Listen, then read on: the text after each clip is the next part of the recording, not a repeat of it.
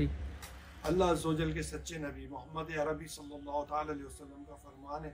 رحمت نشان ہے کہ جو کوئی شخص ستائیس رجب المرجب کی رات عبادت کے ساتھ شب بیداری کرے، اللہ تعالیٰ اسے سو سال کی شب بیداری اور عبادت کرنے کا ثواب عطا فرمائے اسی طرح کوئی ستائیس رجب کا روزہ رکھے تو اللہ تعالیٰ اسے سو سال کے روزے رکھنے کا ثواب عطا don't miss this opportunity.